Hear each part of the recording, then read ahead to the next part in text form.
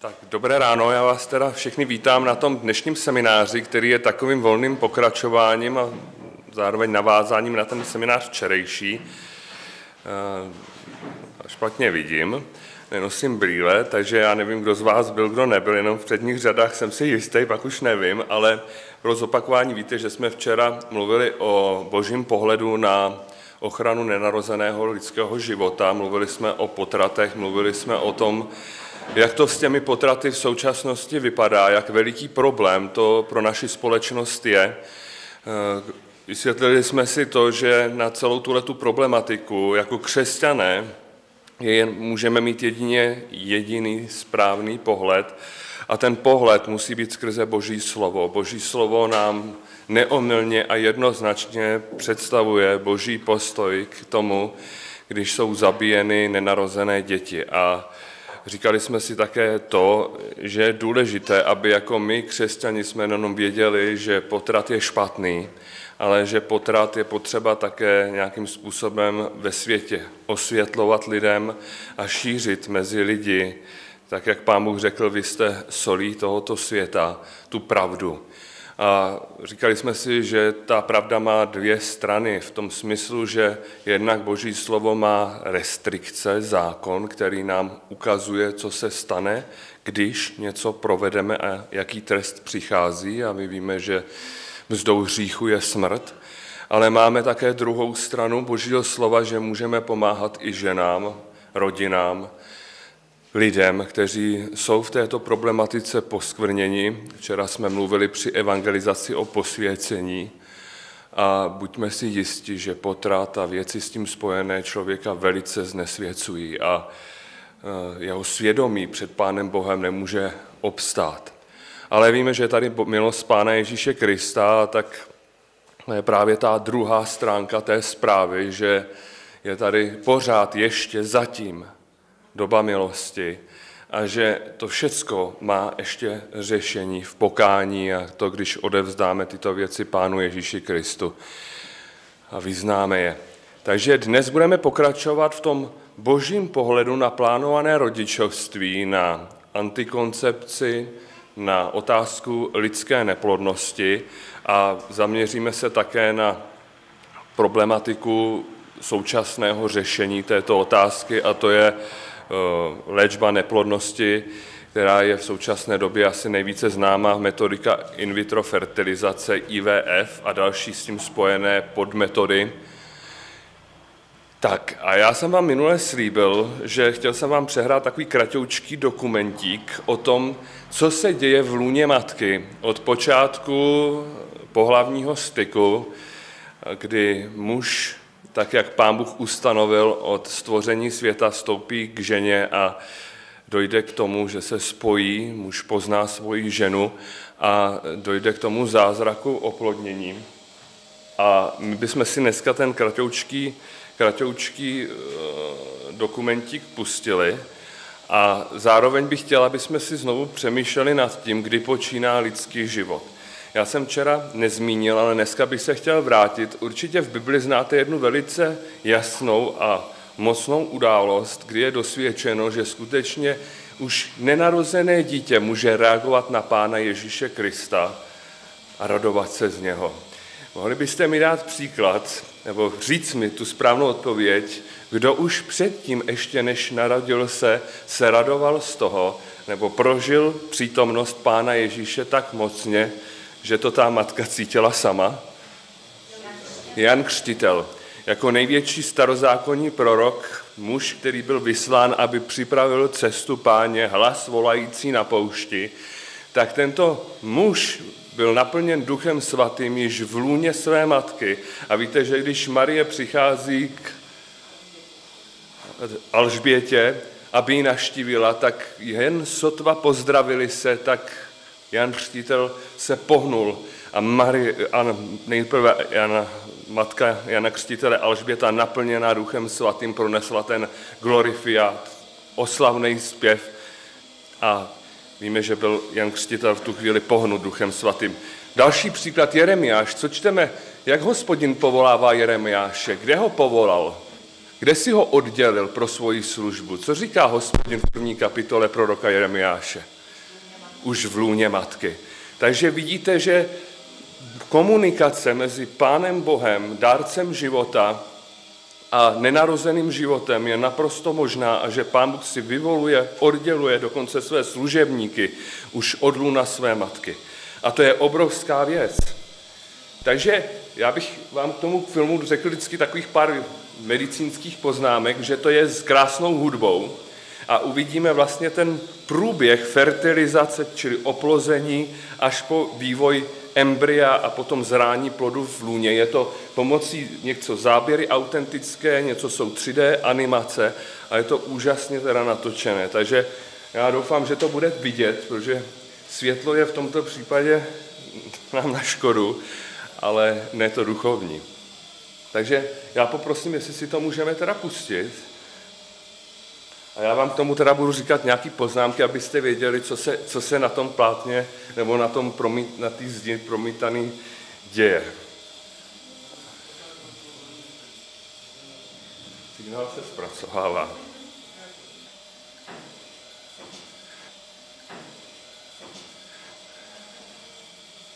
Jo, ten lidský organismus je tak dokonale synchronizován, že v okamžiku, kdy muž vejde k ženě, dojde po tom sexuálním dráždění k ejakulaci, tak při orgazmu ženy vlastně celý ten pohlavní trakt začne zabírat prostě svalovými stahy. Změní se i vlastně pohyb těch řásinek a celý ten pohlavní trakt pomáhá ženy nasávat spermie z té pochvy do dělohy a oni potom putují k tomu vajíčku. Takže tu hudbu k tomu můžeme nařídit. Takže jak vidíme, dochází k tomu, jak spermie putují děložním hrdlem skrz dělohu.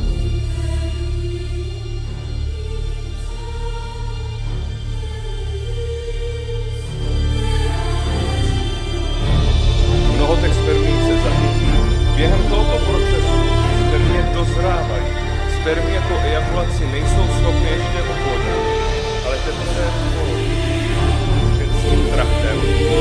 tzv. kapacitaci spermie. Ty spermie dostávají schopnost oplodnit vajíčko. Na hlavní spermie je enzym, který v takové vezikule a korozom na tom 600 aby ta spermie jak se promítá k vajíčku.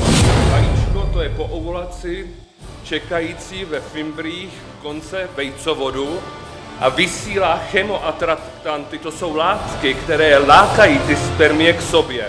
A ty spermie také pomocí chemotaxe a termotaxe cítí to vajíčko a hledají ho.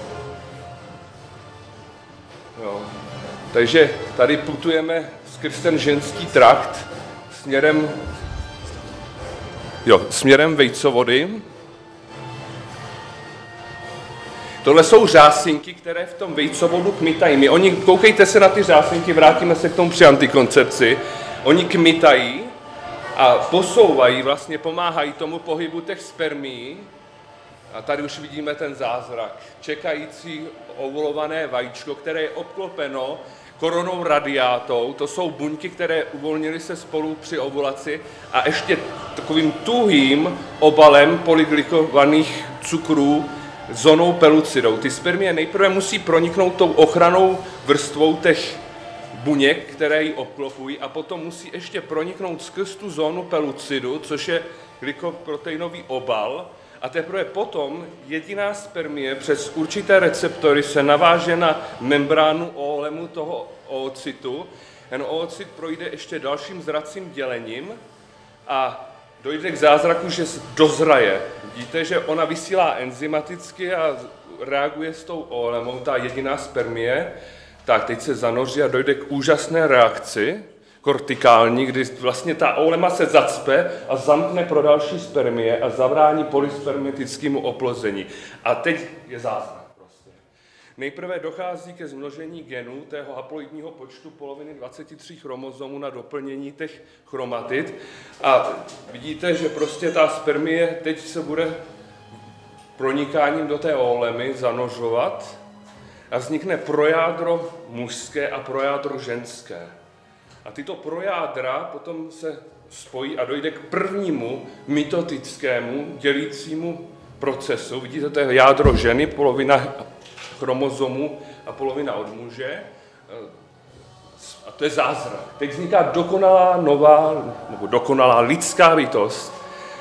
A odděluje se polární těličko. Tomuto procesu se říká rýhování, protože buňka nezvětšuje svůj objem, ta morula, ale ty buňky se dělí. A vidíte, teď ty řásinky už posouvají toho vejcovodu, to oplozené vajíčko, teď už tedy ve stádiu 4, 8, 16 buněk, čili morulu, směrem do kavity děložní dutiny tedy, a potom asi 5. 6. dne doputuje eh, to, ta morula do, do dělohy, tam je připravená již sliznice, to už komunikuje s matkou od počátku, a tohle je hatching over, náš první porod. Vylíhneme se z té zóny pelucidy jako ze skořápky a zanořuje se ta blastocista teď už do povrchu té deciduité sliznice té dělohy a už tady probíhá zázrak, vevnitř se už vytváří zárodečný disk, začíná diferenciace. Jo? Rostou klky, Syncytiotrofoblast se napojuje na lakuny děložních cév a krev matky začne omývat vlastně ten plod a děťátko už saje živiny z oběhu krevního matky. Tady vidíte zárodečný disk. Začíná zázrak prostě tvorby tří zárodečných vrstev, čili prostě vznik základu celého orgánového systému. Podívejte, tady už je malý zárodek, který je uvnitř toho toho, toho váčku a to se děje během dnů. Prostě tady se nám už vytváří páteř, nervová trubice, jo, to jsou ony špatně popisované žaberní oblouky. Tady se vytváří srdce, vidíte už tluče, 21. den tluče srdíčko od oplození, tady žloutkový váček, první, tady vidíte ten stůl, to je pupeční šňůra, jo, hlavička, Jo, vidíte, že prostě za chvíli nám začnou růst končetinové pupeny. A to, to jde ohromně rychle. Takže to děťátko je zpočátku průhledné, ale už teď tomu je srdíčko, už teď prostě tam cirkuluje krev skrz placentu. Jsme slyšeli, že teď vyberuje kolem 100, 120, 140 zamentur, které tomu týče, začnou se diferencovat tkáně, vidíme, jak se diferencují například srdeční svaloviny, které typají. To srdce tluče tak až do konce života. Vidíte, že to srdce zpočátku je jeden z největších orgánů těla, protože musí hnát krev až do té placenty a je to opravdu jeden z největších orgánů ze začátku. No a to jsme opravdu 30 dní od početí, jo? Tady prostě to nejde pochopit, ten plán mistra v tom genomu toho plodu, v té buňce, protože tam je všechen ten proces toho vzniku zakódován. V každé vaší buňce, kdybyste si vzali kožní buňku, je tenhle geniální plán skrytý, jak to všechno proběhne. No, tady vidíme, jak se vytváří mozek v hlavičce, kdy se nám začnou objevovat oči. Oči jsou součástí vlastně mozku, brána do duše. Vidíte končetinové pupeny. Jsem říkal, osmý týden už jsou otisky prstů na těch končetinách. Už má ručičky, už si v osmém týdnu začne strkat ručičku ten plot do pusy.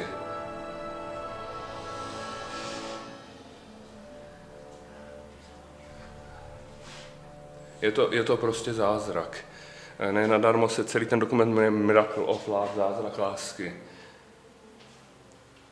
Takže vidíte, tady nám rostou už dolní končetinové pupeny, čili základy nohou, nožičky, vidíte základy prstíků už. OK, tady už se nám začíná utvářet ústa, nosní plakody, oči, pusinka, bříško, vidíte, že to srdíčko je ze začátku vypouklé, začne se teprve stahovat, ručičky narůstají. A to je opravdu, tady to je zrychleno, ale i tak to běží neuvěřitelně rychle. Celý ten proces musí být hotový do dvou měsíců.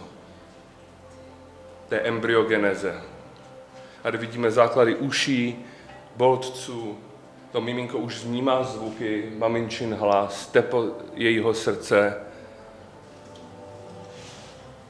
Oči jsou zpočátku volné, nepřikrytý výčky, posléze dojde k jejich přikrytí, formace úst. Stačí jediná chybička, vznikají roštěpy, různé vady. Víte, že prostě tady ta embryologie nám pomáhá pochopit vznik různých vrozených vývojových vád. Vidíte, že už tady si strká prstíček do pusy, zavírá očička, už plave si v tom svém amniovém váčku, v té plodové tekutině, je chráněn nárazy, ta tekutina vyrovnává tlaky, je tam stálá teplota, jak říkám, děťátko reaguje na hlas svojí maminky, na tlukoty jeho srdce, pokud je matka rozrušená, ve stresu děťátko to vnímá. Naopak dokonce i hudbu je možné vnímat už v této době a jsou pokusy dělané, že děti pamatují si z tohoto období různé věci, a jak říkám, vztah mezi matkou a dítětem i otcem může být navazován už dávno před porodem a stojí za to, když třeba tatínek hladí mamince břicho nebo mluví na své dítě. Všechno se to prostě projevuje. A vidíme zázrak vzniku ty nervové tkáně. Tady se vytvářejí synaptické spoje mezi neurony. Dochází tam k nervové činnosti. Mozková tkáň do dneska pro nás záhadou, kam se hrabou tyto primitivní přístroje proti, proti mozku lidskému. A to využíváme jenom slabých 10, 20, 30% jeho kapacity. A všechno na počátku byla jedna malá buňka, která je velká jako tečka na konci věty. Vidíme, že dneska už můžeme díky moderním metodám sledovat metabolickou aktivitu mozku a podle toho odhadovat i funkci toho přemýšlení toho plodu. Takže ty poznatky se neustále rozvíjí a věřte tomu, že to, co si dříve vědci mysleli, ještě když včera mluvil ten lékař z těch 60. let, je dávno překonáno. Dneska víme, že opravdu to vnímání toho plodu je na vysoké úrovni velice brzo. Matka začíná cítit pohyby, kdy ženy poraďte neskušeným, záleží, jste prvorodička nebo druhorodička. Přesně, přesně tak. Jo, takže to už maminka vnímá, jak se tam ten malý šije. Cvičí si ručičky, nožičky. A vlastně celý proces od toho konce druhého měsíce už je, už je nazván vývojem plodu a to dítě pouze už zraje a roste. Jo, tam už té diferenciaci jako takové dochází v daleko menší míře a jde spíš o to, nabrat hmotnost a dozrát.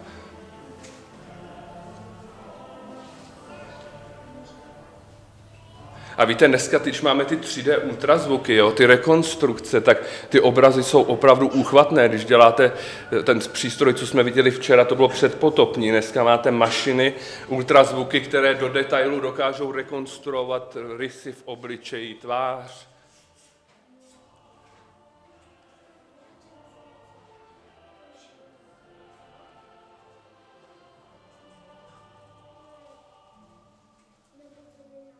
Víte, dneska třeba jsou zvláštní studie, když je třeba mnohočetné těhotenství, že ty miminka v té děloze spolu komunikují. Jo? Když, a zase je v Bibli nějaký náznak o tom, že děti mohou v děloze dokonce spolu i soupeřit.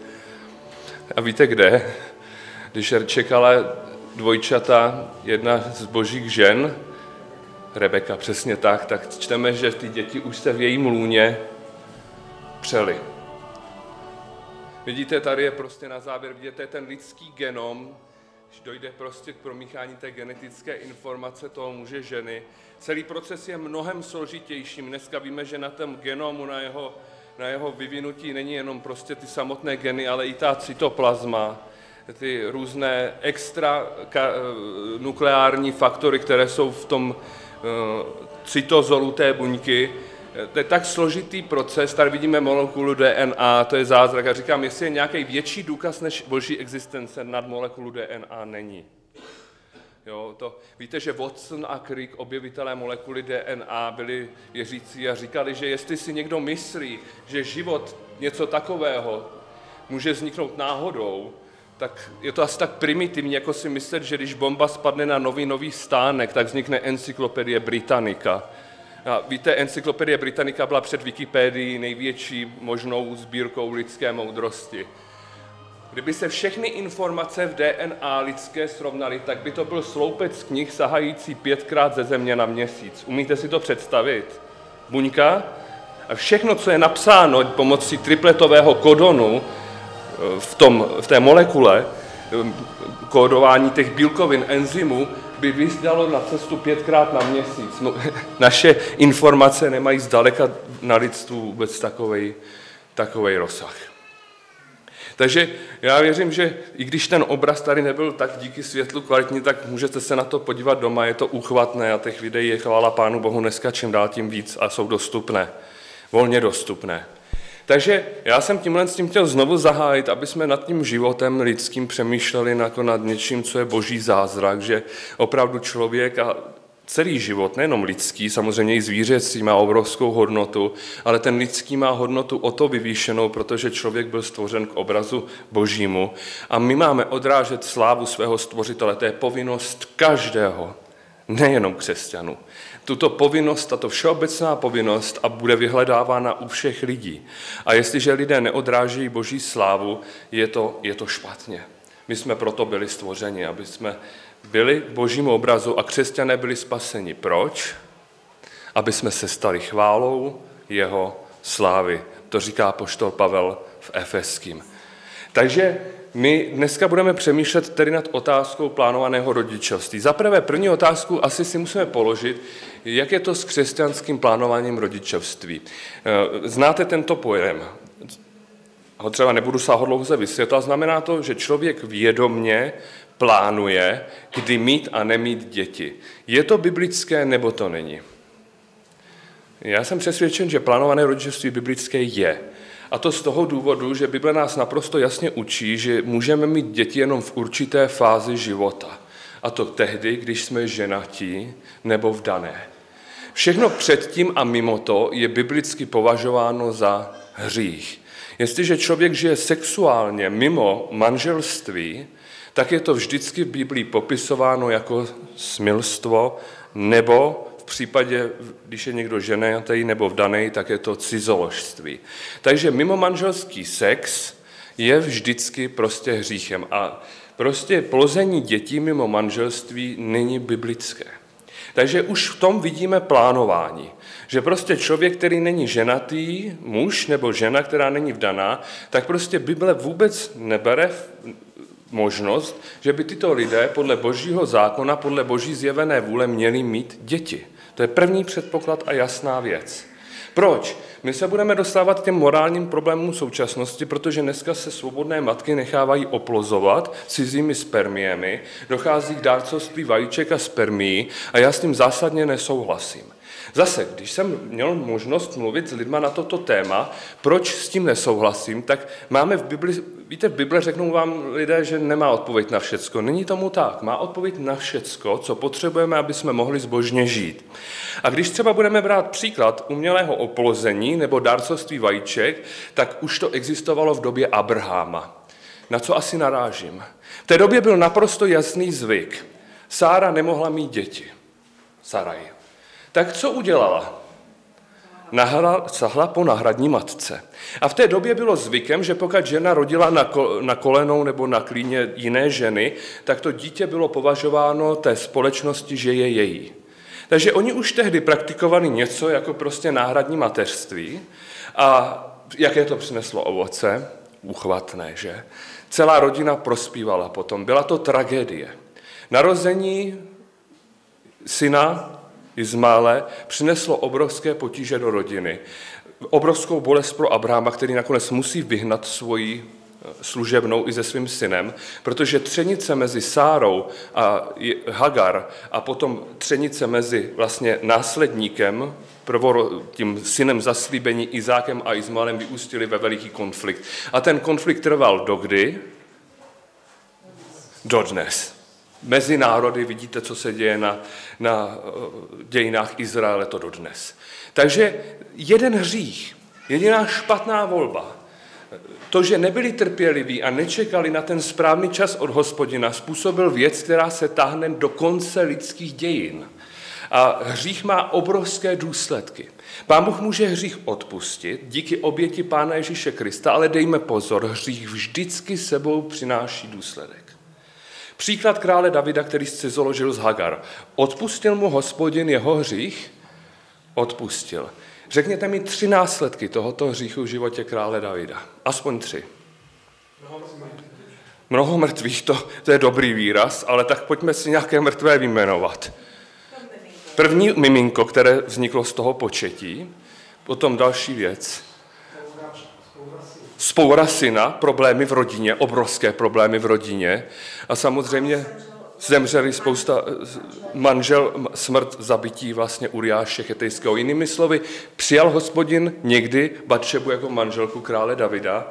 Jak je nazvaná Batšeba jako matka Ježíšových předků v rodokmenu? Žena Davidova? Uriáše Chetejského. Když budete číst rodokmen Pána Ježíše Krista, před hospodinem byla Batšeba, žena Uriáše Chetejského. Smrt Uriáše mě vždycky veze slzy do očí. To byl pohan, který přišel do božího národa a byl věrný hospodinu. Víte, že jak se zachoval, když králové měli tahnout, on byl věrnější než David v té chvíli a skončil smrtí. Takže víte, my musíme opravdu přemýšlet nad tím, že Pán Bůh nám dává rozum a my ten rozum musíme používat. Pán Bůh nás nestvořil jako roboty, ale chce od nás, aby jsme rostli v posvěcení a to tím způsobem, že poznáváme jeho zjevenou boží vůli a skrze tuto zjevenou boží vůli potom zaujíváme v životě vhodná rozhodnutí. Tím je náš pán oslaven. Je oslaven tehdy, když jsme mu poslušní a tedy odděleni, protože víte, svět se mění. Změní se názory. Včera jsme si říkali, jak se krásně změnila Hippokratová přísaha, jak se mění různé postoje, kdy vzniká život. Ale Bůh je stálý tentýž včera, dnes i na věky a naše názory, naše postoje, naše, naše smýšlení musí být od počátku formováno písmem. A my čteme, že máme zkoumat, co se líbí pánu. Takže proto věřím, že jsme i dneska tady, že chceme v této otázce nalézt boží odpovědi a vědět, co se líbí pánu. Takže v božím slově máme jednoznačně principy, které nám zjevují, že plánované rodičovství ano, ale. A teď jde o to ale. Co tedy máme? První omezení je, plánovat rodičovství můžeme tehdy, pokud jsme ženatí nebo v dani, dané. Tak za druhé, je nám jasné, že manželství, které může plánovat rodičovství, může být utvořeno jenom dvoumi jedinci. A to mužem a ženou, protože čteme, že na počátku stvořil hospodin Bůh člověka k obrazu svému jako muže a muže ho stvořil, ne? Stvořil ho jako iš, vyša, muž a žena. Vemte si, v hebrejštině je to krásně vidět. Iš je muž a iša je žena. Stará kraličtina to říká muž, mužena, to už dneska zní dost hanlivě, ale vnímáme tu snahu vyjádřit, že muž a žena mají stejnou lidskou podstatu, že oba jsou iš a iša. Takže jakoby to je uchvatné a manželství skutečně může tvořit jenom žena a muž. Mateřství tedy může být jenom mezi ženou a mužem. Další jasná věc, proč o tom mluvíme, víte, před 30 lety, kdyby tady byli bratři na konferenci, jak to, no před 30 už možná ne, ale kdyby jsme šli ještě zpátky, 60 let, tak by tady mnoho lidí asi teď odešlo, protože by si říkalo, o čem se tady teď budeme bavit. Já si pamatuju, že jsem před několika, před deseti lety na jednom takovém sjezdu mluvil o tom, o nebezpečí homosexuality mezi křesťany. Byli jsme nazváni jako schizofrení nebo jako, jako paranoidní, nebo já už tam byl, padly horší výrazy, tak a po deseti letech je to tady. Křesťané nám chodí do duhových průvodů, křesťané nám podporují manželství homosexuálů, křesťané pod vlivem slepé lásky tolerují potraty.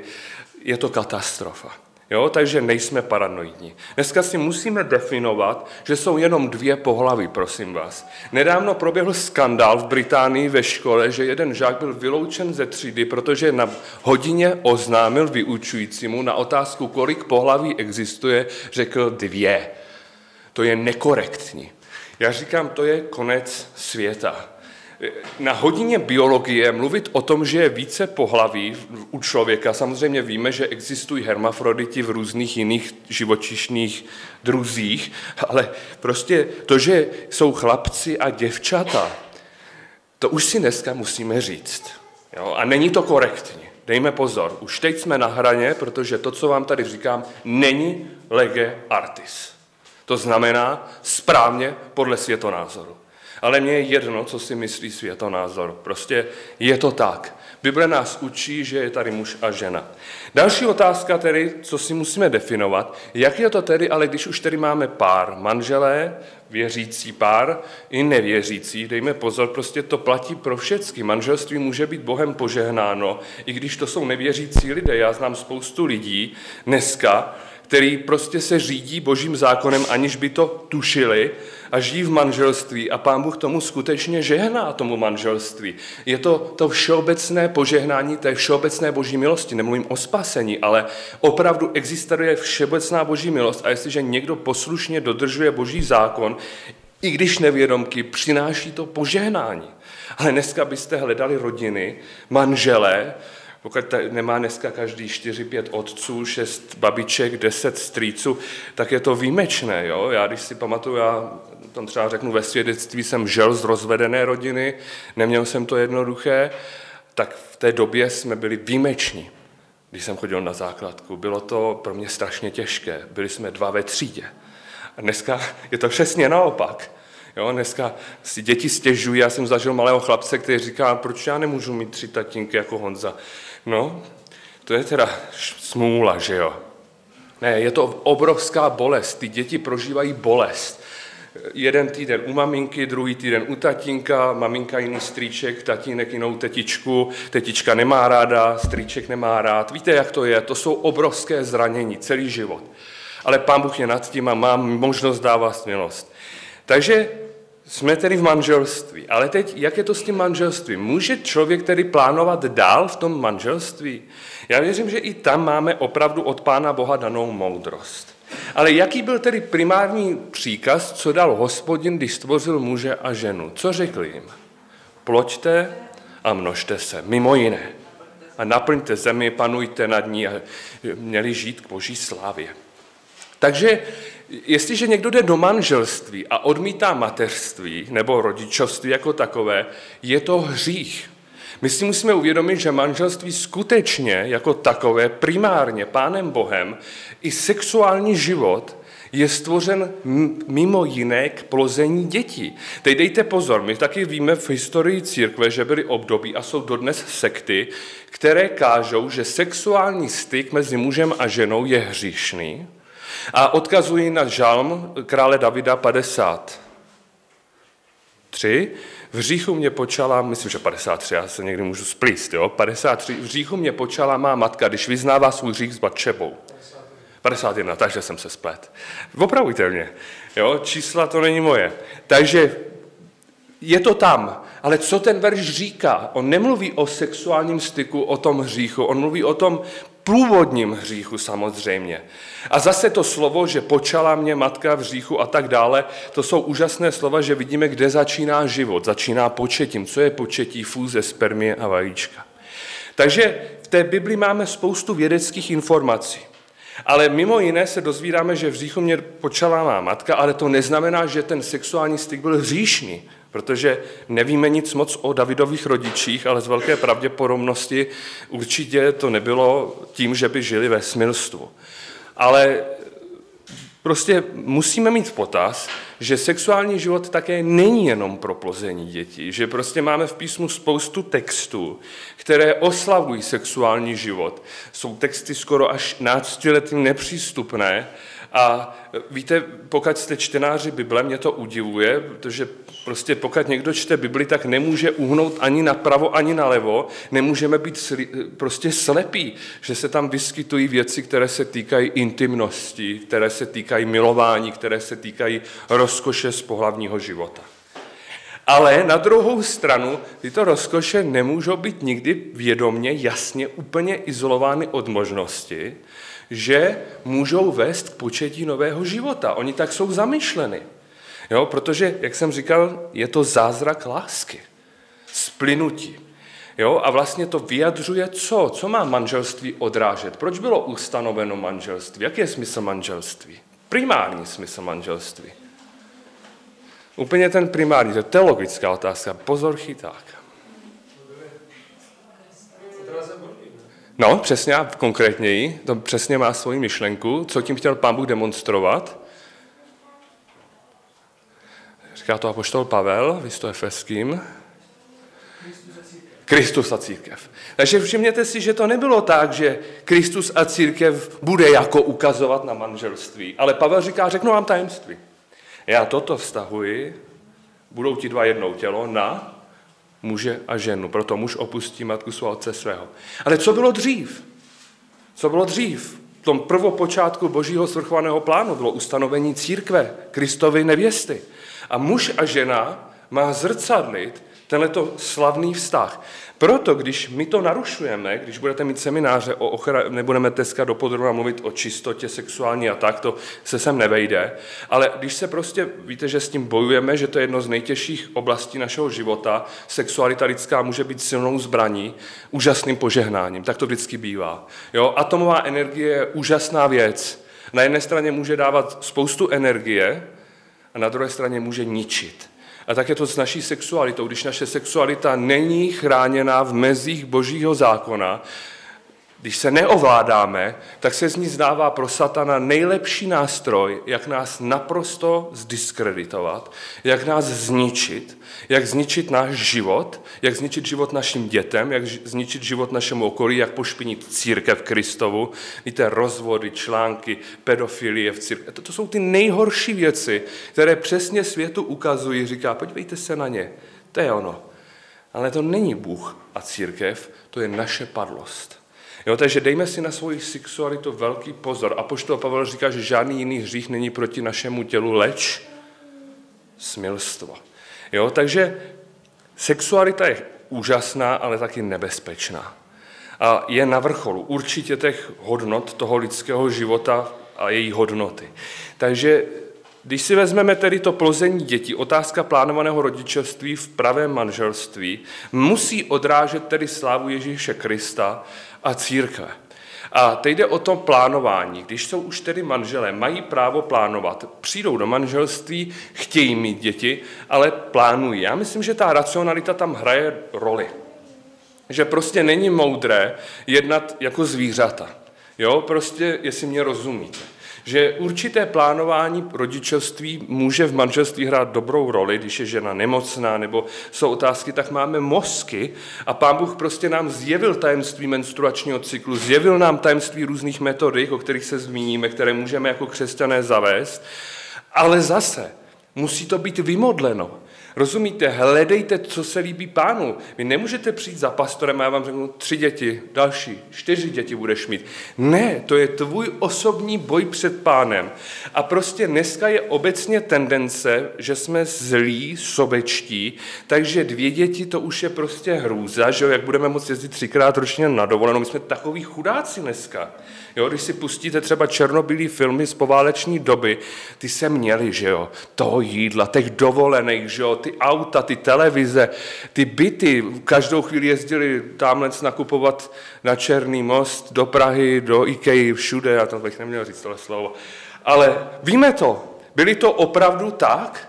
Oni dovedli vychovat 80 dětí před válkou za Rakouska-Uherska, měli pampers, pleny, přesní dávky, umělou výživu. Je to tak? Nebo, nebo ne? Ne, já ještě pamatuju, že jsme měli doma tatramatky, žádný pračky automatický, mamka prala normálně, včera jsme o tom se sestrou mluvili.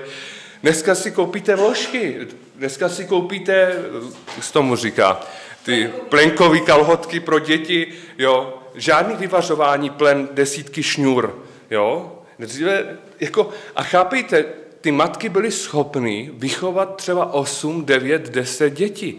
Dneska jsem mluvil nedávno s Radkem, nebo říkal to i v kázání, kdo má víc než pět dětí, tak už lidé často koukají, jako, prostě, co se stalo, že jo? A jsou z toho zděšení, ale to je, jako, chápejte, my jsme úplně postiženi. Jo? Když si vezmete rozvojový svět, tak ten takhle sobecky nepřemýšlí. Tam se lidé dožívají 50-60 let, ale žena má průměrně daleko víc dětí. A my si hrajeme na vyspělý svět, ale my vymíráme. Jo? My jsme nahrazováni jinými kulturami a etnity, protože my jsme sobečtí. My jako křesťané, který bychom měli dávat jakoby na světu najevo svoji lásku a jak jinak demonstrovat lásku než na rodinném životě. Jak velice cený je mužství a ženství a demonstrace boží lásky v rámci rodiny křesťanské. Ochrana rodiny, co je základ státu? Rodina, to zrcadlí, když je, já jsem vždycky byl monarchista, tak to nemůžeme rozvádět můj politický směr, ale když máte v čele prostě rodinu, která demonstruje prostě hodnoty morální, jo, tak to ovlivňuje tu společnost. Jo? Já mnohem fandím třeba Williamovi a Kate, protože oni skutečně žijí morální život, představují prostě ty základní hodnoty, mají děti, chodí do kostela dokonce, prostě žijí morálně, neslyšíme o nějakých věcech. A zase naopak, když udělají tyto lidé chybu, je to demonstrováno tou společností. A když to dělají oni, budeme to dělat taky. Takže a zase, když vás pozorují sousedé, máme tři děti, čtyři, pět, jak žijete, to je svědectví o Kristu, o tom, jak demonstrovat boží lásku. No ale když už i křesťani začnou přemýšlet, že žena už druhý rok na mateřské říká, že je nevyužitá, že vlastně, že jo, prostě by chtěla už prostě tu svoji kariéru, že jo, no kdo tím bude trpět? Jo, prostě ty děti tím trpí strašně. Ten vztah, že, který se dá vybudovat v těch prvních letech mezi matkou a dítětem, se už nedá dohnat. Já když vidím kolegyně některé, že jo, prostě už druhý měsíc po porodu už by chtěli jít sloužit, protože už už to prostě cítí se frustrované, že jo? žena je frustrována, tak muž půjde na mateřskou, že jo? jsme o tom mluvili, je to na ruby, to dítě trpí, rodina tím trpí, jaký to je obraz, jaký vzniká vztah mezi tou matkou a dítětem. No, musí se matka a otec pro to dítě obětovat. No ano, a teď o čem je agapé, mi řekněte. Jo, víme, že existují čtyři typy řecké lásky, jak definovat. Máme eros, máme storge, máme, máme filia a máme agape. Máme tu lásku, tu, která převyšuje ty pozem, no, oni jsou všechny důležité, ale ona je jaká? Láska sebeobětující se. A zase, jak nejlíp demonstrovat Kristovu lásku, než když vidím, že třeba moje žena je nemocná, já se o ní postarám. No, nebudu asi ředitelem nějaké firmy, nebo moje rodiče, nebo to jsou oběti, které musíme v životě přinášet, ale právě skrze ty oběti je Pán Bůh oslavován. Jo, takže jestliže má někdo nemocné dítě, jestliže má tři děti, tak hold, ano, možná nebude jezdit tak často na dovolenou, ale bude to mít obrovský efekt na to jeho svědectví. Takže děti jsou požehnáním a měli bychom k tomu tak přistupovat. Takže když se modlíme, kolik dětí, mějme tohle na paměti. Jo, to je jedna věc. Další věc je, že skutečně opravdu potom, jestliže se rozhodneme před Pánem Bohem, že teda tolik dětí a tolik, tak potom máme nějaké metody, jakým způsobem to korigovat. No a dneska si teda řekneme, že jsou metody teda naprosto nevhodné a metody, které jsou z křesťanského hlediska použitelné. Takže první jsou ty naprosto nevhodné a nejrozšířenější v současné době. Jakou si myslíte, že nejčastější dnešní antikoncepční metodou lidé používají? Hormonální a ta je naprosto křesťansky nepřijatelná. Už od 60. let, kdy se začaly ty pilulky používat, tak v první fázi etapy vývoje vznikaly takzvané vysoko, eh, vysoko eh, obsahové pilulky, které obsahovaly velkou složku estrogenu a eh, gestagenu. Byly to syntetické látky už tehdy a tyto měly v své funkčnosti zabraňovat ovulaci, to znamená uvolňování vajíček. Slovo antikoncepce znamená co? Proti početí. Takže to je, ano, to je správně. Něco, co zabrání spojení spermie vajíčka, je křesťansky přijatelné, protože nedochází k vraždě. Protože spermii nemůžeme považovat za jedince, když ji necháte tisíc let v mrazáku, nikdy z toho člověk nebude, ani kdybyste s tím dělali cokoliv, vajíčko samo sobě také ne, pokud nedojde k zázraku partenogeneze vzniku nového života, jako u Pána Ježíše, kdy víme, že to bylo zázračné. Ale pokud máme tedy tyto buňky, zabráníme jim splynutí, je to jediná možná forma ochrany. A teď máme možnosti tedy bariérové nebo hormonální. Ty hormonální jsou nevhodné proč? Protože vždycky ta antikoncepce funguje na principu jisté pravděpodobnosti. To znamená, že ani ty vysokopreparátové hormonální antikoncepce neměly schopnost plně zabránit ovulaci. Dokází takzvané ovulation breakthrough, průlomové ovulaci, to je chvíle, kdy třeba žena mohla zapomenout, ale ani nemusela, nebo si vzala antibiotika něco, měla průjem, chápete? Stačilo malé výkyvy v té eh, hladině těch syntetických hormonů. A teď mě dejte pozor, já vůbec neberu v potaz zdravotní riziko hormonální antikoncepce, protože oni ohrožují ženu na jejím životě. Neberu v potaz to, že se ty hormony hromadí v kostích, v tuku, že je čůrám žena do vody, že je potom všichni máme tady kolem sebe, žena mužská plodnost, tomu se dostaneme rapidně dolů. To všechno je vliv těchto syntetických hormonů. Ale mluvíme jenom o nebezpečí zabití plodu. Takže když si vezmeme, že tedy dochází k té průlomové ovulaci, tak u těch vysokopreparátových pilulkách to bylo kolem 4 až 5% Já mám potom studie, jo? já tady neplácám z toho a nebudu vás zatěžovat Robert tam číslama a to je všechno na základě vědeckých studií. Je jich strašně málo od počátku. Proč? No představte si, že byste se přihlásili jako křesťanka do studie, tak já budu zkoumat, kolikrát jsem potratila. Chápete mě? To je prostě nemožné. Takže často ty studie byly dělány třeba v Mexiku na ubohých eh, ženách z rozvojových zemích, protože prostě jednoduše američanky nebo jiné ženy by do toho jen tak nešly. Tak studií je málo. Proč? Zdravotní firmy o ně nemají zájem. No už vůbec ne farmaceutický průmysl. Víte, jaký je roční obrat v roce 2011 hormonální antikoncepce v České republice bez DPH a přirážky? 18 miliard korun. Nikdo nemá zájem z těchto firm ukazovat, že to je v nepořádku. Ale je. Takže tyto pilulky se stahly velice rychle. Proč? Protože ženy nám začaly padat na embolie, trombózy a rakoviny. Ty vysoké hormony nabíraly na váze, zadržovaly vodu, byly na tekle a tak dále. Uvědomme si, že to byly a jsou dodnes vždycky syntetické hormony. Přirozené estrogeny a gestageny netvoří součást antikoncepce. Proč? Při first pass při prvním průchodu játry dochází k jejich metabolizaci. Takže lidé museli obejít tuto cestu a navázat nějaký ty etiny, eh, nějaký ty vazby změnit chemicky v těch strukturách toho sterolového jádra a udělat jiné hormony. A tyto hormony jsou syntetické, nejsou tělu vlastní a můžou prostě fungovat vždycky na nějakém efektu. Takže proč? No prostě vždycky tam je něco navíc. Není to čistý gestagen, on trošku je jako androgen, on je trošku ten levonogestran jako antiandrogen. A teď vlastně každá ta složka, dneska nejčastější gestageny jsou levonogestral, ten je i v postinoru, je i v, v tom, v mirenách a tak dále, tak to jsou látky, které ale mají ještě vedlejší efekty na ten organismus ženy. V některých případech je můžeme využít terapeuticky, jo, ale neměli bychom používat antikoncepčně. Jak fungují?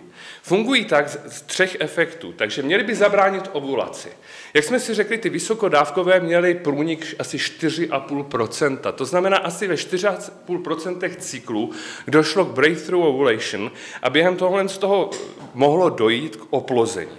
Jo? Co se potom dělo?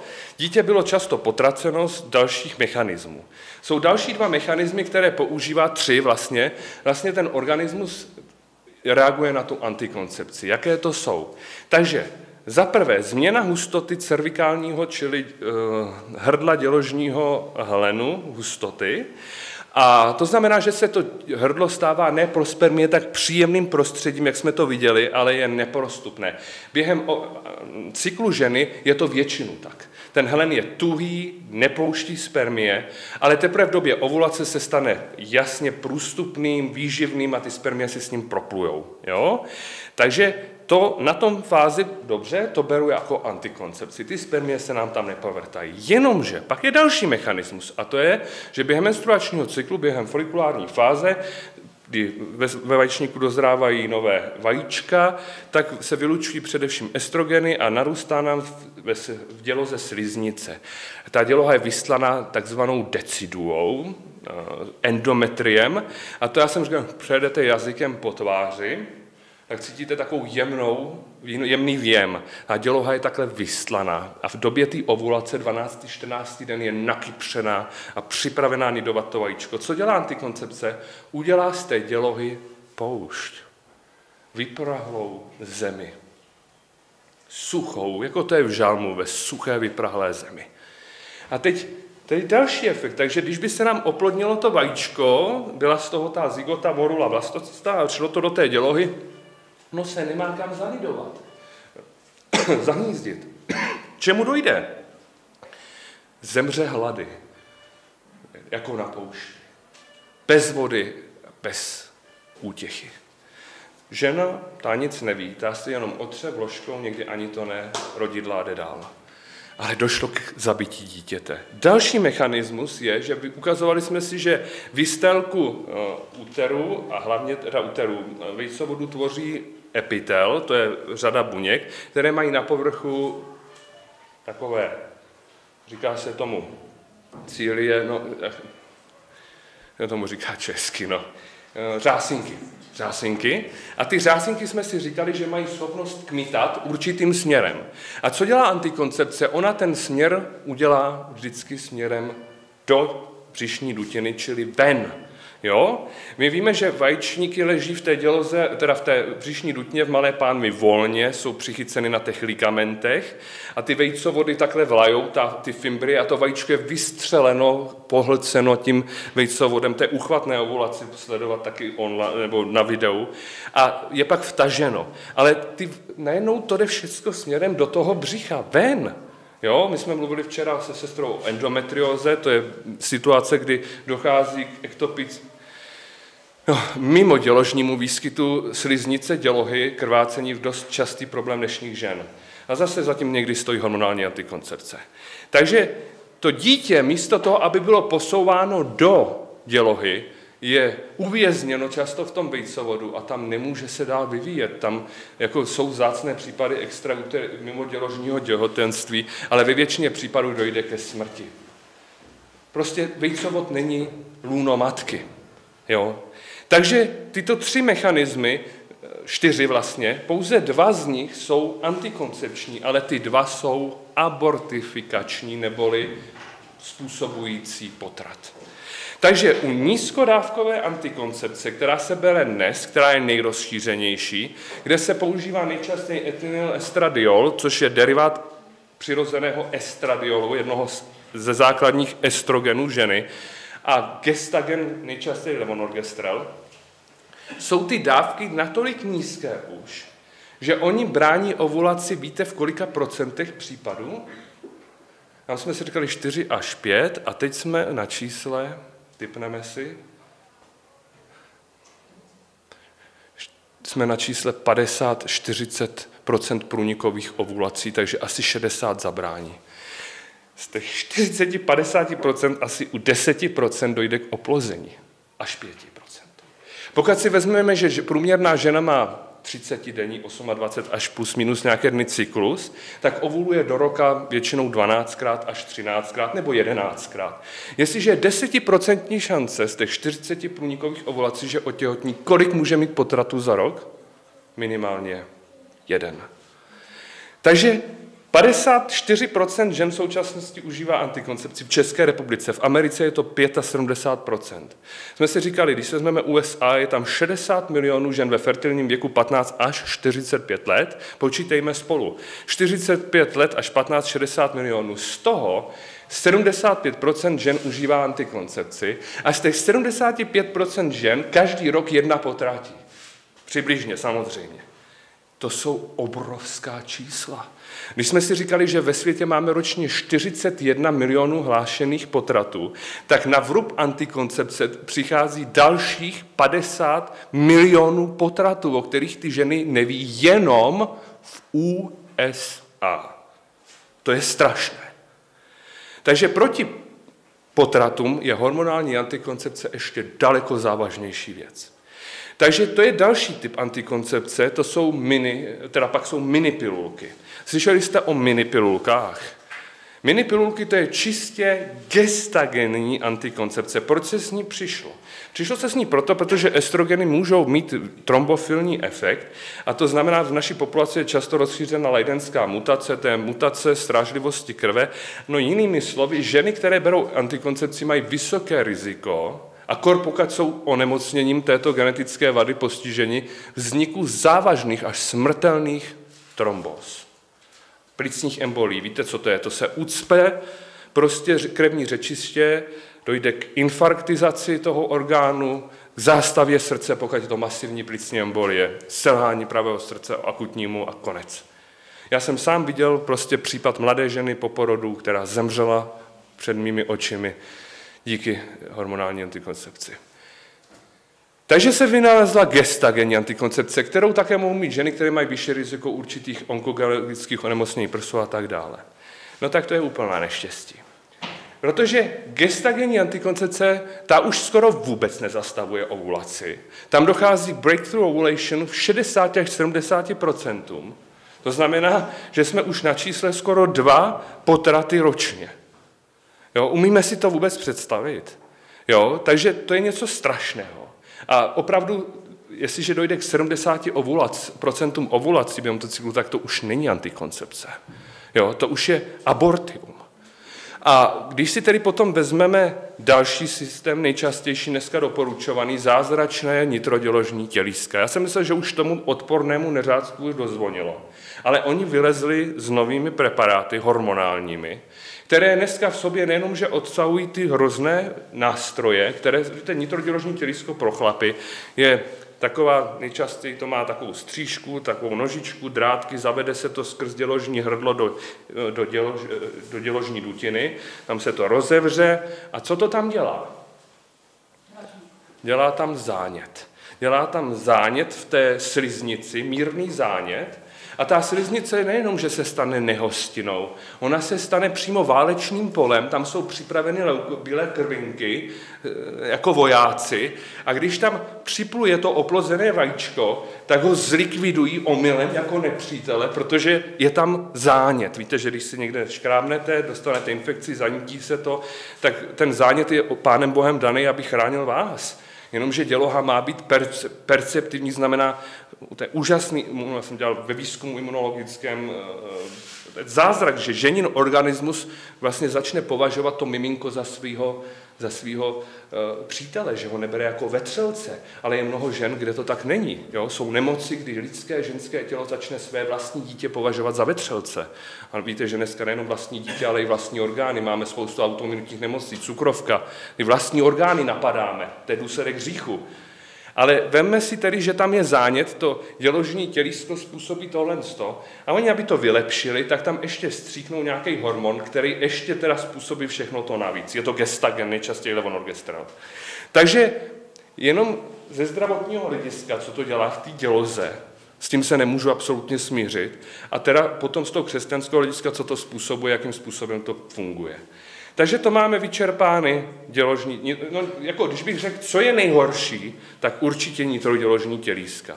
Pak máme gestagenní antikoncepci, čistou minipils, minipilulky, ale určitě na stejné úrovni ještě dneska existují depo, prevar, depo no, bych neměl říkat ty názvy, ale prostě depo, eh, depo eh, složky, kdy dostanete injekci nebo dostáváte ty hormony třeba na celou určitou dobu.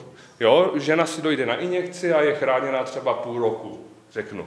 Jo? To jsou depo preparáty, preparáty které zase fungují na složce gestagení. Takže se tam uvolňují neustále partikule toho hormonu a dělají ale to samé. Jo? Takže to je minipills a depo preparáty, pak máme kombinovou antikoncepci současnou, Říkám to v mírách vražednosti. A co tedy z toho plyne? Tím jsme vyčerpali všechny tyhle ty nejčastěji užívané preparáty a jsou tedy z křesťanského hlediska naprosto nepřijatelné. Co tedy je přijatelné? Máme tedy ještě něco v ruce? Máme. E, jsou to přirozené ochranné metody bariérové. Prostě já vím, že to zní třeba nepopulárně, ale je to pořád tedy ten kondom, je to pesar, Pesar je úžasná věc v Americe a to je dobře. I u nás mezi našimi ženami začíná zase mít... Ženy začaly číst některé věci. Lékaři prý zuří někteří, protože se v České republice, dejme pozor, to jsem šťastný, za posledních několik let snižuje procento užívání hormonálního ženy přemýšlejí. Ptají se, mně se to líbí, děkuju za to Pánu Bohu. A ale Česká světová World Health Organization a naše zdraví jsou zděšení kam ten svět spěje. Ženy se začaly zajímat, co s nima dělají pilulky a prášky další. Jsem za to vděčný, že to tak je. Ptejte se. Ano, to je nepohodlné, jo, řešit to. Ale dejme tomu tedy, že vidíme, tenhle, ten, to zlepšení je stále strašně malé, ale je tu. Ženy tedy začínají se ptát, začíná se znovu renesance objevovat těch pesarů. Pesar to je klobouček, který si žena musí nacvičit, nasazovat na děložní čípek na hrdlo. Když prostě znáte anatomii ženského pohlavního ústrojí, tak je to uchvatné a ta děloha prostě zanořená je do té, do té pochvy nahoře, takovém tom sklonu několika stupňů a čouhá tam takový jakoby taková hruška, konec hrušky. Na to se dá nasadit takový uh, materiál, ten pesar, který ucpe vlastně vstup do, toho, do té dělohy. A pokud si to žena zavede, může to mít v sobě, to je navíce použití desítky hodin, když se to zkombinuje se spermicidními gely, to jsou gely, které prostě nejen lubrigují tu pochu během styku, můžou zlepšovat pH, ale mohou, jakoby, a to je hlavní věc, likvidují ty spermie, aby se tam nedostaly, tak jsme procentuálně na úspěšnosti srovnatelné tou antikoncepcí na hormonální antikoncepci. Takže to jsou bariérové, jo, pak jsou různé ještě ženské kondomy, jo, ty už jsou, dejme tomu třeba hůř pohodlné, ale víte, mně se nelíbí jedna věc, to musím říct jako muž, když se setkám s tím, že žena to řeší, řešíme tuhle tu otázku, ale mi řekne, můj muž to neřeší, to je prej moje věc ne chlapi, mně se to nelíbí, jo? Já jsme si říkali, že jsem jasně zastánce biblických principů, kdo je hlavou rodiny a tak dále, ale tímhle se neprojevuje nic jiného než naše sobectví. Jestliže chlap nebude zodpovědně přistupovat k tomuhle tomu spolu s tou ženou, jo, tak je to, je to ošklivé. Muž se má o ty věci zajímat, muž to má níst se svojí manželkou a když spolu teda, když je i využívat k tomu, aby prožil radost a on jí podělil o své tělo a ona jeho, tak mají spolu řešit otevřeně i antikoncepci. A není to jenom věc té ženy, jo? takže ten muž by v tom měl být od začátku zatažen. Mluvte spolu o tom s tím partnerem, protože je to jeho věc. Jo? A chlapi, nebuďme sobečtí v tomhle tom. Takže ten muž by to měl řešit s tou ženou a prostě jsou případy, kdy ta antikoncepce, ta kondom je nejlepší. Máte různé ženy, mývají během cyklu někdy výkyvy, mají, mají výtoky, mají různé problémy jo? a ten kondom je v tomhle tom ideálním řešením často. Ale pak pak máme ještě další věc a to jsou metody měření bazální teploty a já hodně šířím tuhle metodu jako obnovenou, protože dneska je vylepšitelná o starou věc a to je ještě sledování cervikálního hlenu. Žena, když, víte, žena by měla znát své tělo i muž. Když trošku si to nacvičí, zjistí, že tam má ten děložní čípek, že z toho může odebrat si vzorek z pochvy toho hlenu a pořídí manžel k Vánocům mikroskop, což je úžasné. Já bych taky jeden chtěl. tak během těch hormonálních změn dochází k úchvatným změnám v hlenu toho děložního čípku, vzniká tam arborizační fenomén. A to je pod vlivem změny koncentrace gestagenu a estrogenu při ovulaci. Dojde k tomu, že změní ten hlen svoji strukturu. A když ta žena si změří teplotu bazální, a natře si ještě ten hlen podle těch počtu těch dnů odhaduje. Ona, ta žena, pak to tělo začne i vnímat. Jo? Začne zni... Mnoho žen tu ovulaci cítí, aniž by něco měřilo, jo? preovulační syndromy a tak. Ale když potom si to na zrce může dětem ukázat potom, že tam kvete kapradí a tak dále, to, to jsou uchvatné věci. Jo? Takže, a to, když skombinujeme, tedy změny krystalizace těch sacharidů v tom hlenu a potom měření bazální teploty, tak jsme zase procentuálně na stejné úrovni bezpečnosti, to znamená ochrany před početím jako hormonální koncepce, ale naprosto bez rizik. Jo? Takže to, to je podle mě největší metoda, nejlepší. Já vám ji nemůžu do detailu říkat, na, na internetu jsou dneska jsou celý semináře, kde vás to nacvičej, jo, a stojí to za to. Stojí to za to, prostě nic to, mikroskop není nedosažitelná investice, nemusíte mít hned elektronový mikroskop. Stačí prostě obyčejný mikroskop, protože opravdu to zvětšení nemusí být tak extrémní, ale když potom dětem vypěstujete ve sklenice seným nálevu trepky, no to, to se využije v domácnosti. Takže opravdu myslím si, že to není vůbec špatná investice. A, takže to jsou ty dobré metody. Tak a já bych teda ještě se chtěl, já nevím vůbec, jaký máme čas, ale ještě k té neplodnosti bych se chtěl vyjádřit. Má, má někdo hodinky? Já ne. A čas je do půly, že asi? Tak chviličku, chviličku možná přetáhneme, protože jste přišli i díl, tak to máme na to právo čas rozhodčího. Ne, záleží na vás, ale chtěl bych se tedy ještě vrátit k neplodnosti a pak bude čas na dotazy. Víte, neplodnost to je něco, na čem musíme přemýšlet duchovně. Já jsem na začátku zmínil, že neplodnost je součástí božího současného jednání s člověkem a budete se divit, vždycky byla neplodnost i v kulturách chápána jako projev božího trestu a nepřízně. To je, to je naprosto běžné a i v biblických dobách čteme, že neplodnost byla silně stigmatizující pro ten pár, pro tu ženu. Dejte mi zase biblický příklad, kde to bylo velice náročné, kde žena prožívala obrovskou bolest toho, že nemohla mít děti. Chana asi nejtypičtější, víte, že zase nebiblická, těžká věc. Elkána měl dvě ženy, Peninu a Chanu. A víte, že jedna rodila, druhá ne, Chana měla luno zavřené. A kdo jí ho zavřel teda? Je tam napsáno, hospodin zavřel Chaně luno, ale její muži miloval. A víte, že potom vlastně se z toho narodilo zázračně někdo, kdo je jeden z největších soudců vůbec, poslední soudce Izraele, prorok Šamuel. Takže zase, všimli jste si, kolikrát v Bibli narození nějaké veliké boží osoby, služebníka, bylo spojeno s neplodností. Zkuste vyjmenovat několik neplodných žen v písmu.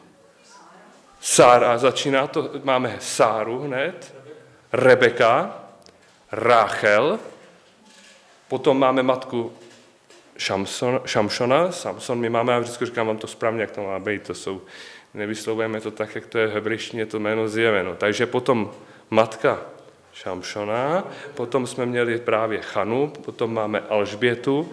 Jo, všimněte si, že to byly obrovské události jejich početí. Pán Bůh na nich demonstroval neuvěřitelně svoji moc a milost. Takže neplodnost byl záměr Boží v jejím životě. U Sáry právě ta její neplodnost demonstrovalo, co to znamená, když se dítě narodí jako dítě zaslíbení. Vyvolené boží dítě zaslíbení, které jasně potvrzovalo boží nadpřirozenou milost a moc v životě člověka. Takže když tady máme tedy neplodnost, vždycky, když máme neplodné páry, měly by ty páry takto přemýšlet. Jo, může zatím být hřích, ale může zatím být i obrovská zvláštní boží prozřetelnost. Neboť je to hospodin, který otvírá a zavírá luno, to je jeho právo. Další věc, co musíme vzít, je, jak je to s neplodností dnes. My jsme si včera řekli, pamatujete, jaká je prevalence výskyt neplodnosti v současnosti v naší společnosti. Kolik párů se potýká s tímhle problémem? Pamatujete si to někdo ze včerejška? Čtyři až pět, každý čtvrtý až pátý pár, čili prostě jsme na nějakých procentech, je, má problémy s početím. A teď proč? Já věřím, že v tom je důsledek našeho života, našeho bezbožného života jako společnosti. Jsme se včera bavili, víte, že před 25 lety byl pro, před 25 lety norma, spermiogram je vyšetření spermatu mužského, ano. Počítá se tam počet spermí na mililitr, počítá se tam tvar těch spermí, počítá se jejich vzhled, nebo hodnotí se jejich vzhled, hodnotí se jejich motilita, to znamená pohyblivost, a potom se to dává do tabulek a td. A td. Takže spermiogram potom nese nějaký výsledek. A ten výsledek odráží schopnost toho může být plodný.